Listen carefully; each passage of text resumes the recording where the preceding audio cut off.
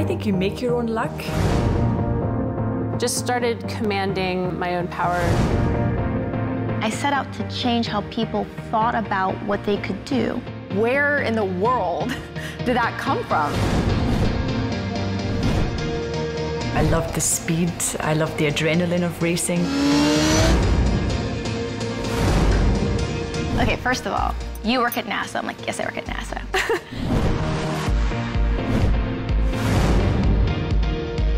Could a woman and make it to Formula One?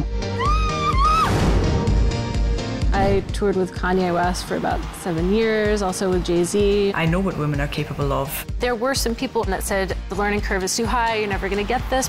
What if I just believed it myself? What would happen? It causes you to think, well, if this is possible, what else is possible?